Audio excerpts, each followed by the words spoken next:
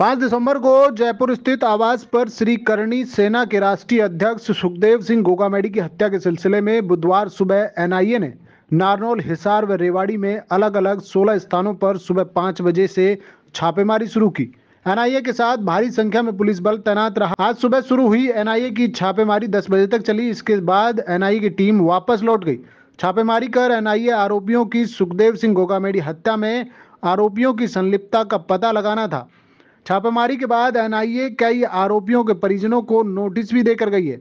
NIA की दो अलग अलग टीमों ने बुधवार को रेवाड़ी शहर की सती कॉलोनी में गैंगस्टर महेश सोनी व भांडौर गाँव में नीरज के यहाँ छापेमारी की।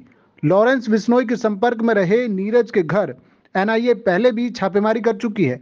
सती कॉलोनी निवासी गैंगस्टर महेश सैनी लंबे समय से फरार चल रहा है तथा उसकी संपत्ति भी अटैच हो चुकी है। महेश सैनी की गिरफ्तारी नहीं होने पर अदालत भी सख्त रुख अपना चुकी है। वहीं हिसार में भी एनआई की टीम ने छापेमारी की है। 5 दिसंबर को जयपुर स्थित आवास पर श्री करणी सेना के राष्ट्रीय अध्यक्ष सुखदेव सिंह गोगामेडी की हत्या के सिलसिले में बुधवार सुबह एनआईए ने नारनौल, हिसार व रेवाड़ी में अलग अलग 16 स्थानों पर सुबह पाँच बजे से छापेमारी शुरू की।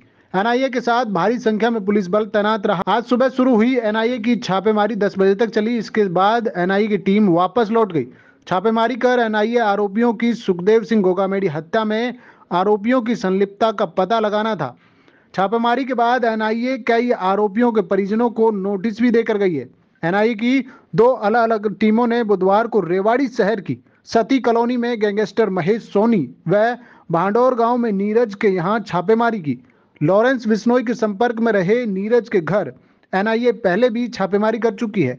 सती कॉलोनी निवासी गैंगस्टर महेश सैनी लंबे समय से फरार चल रहा है तथा उसकी संपत्ति भी अटैच हो चुकी है। महेश सैनी की गिरफ्तारी नहीं होने पर अदालत भी सख्त रुख अपना चुकी है। वहीं हिसार में भी एनआई की टीम ने छापेमारी की है।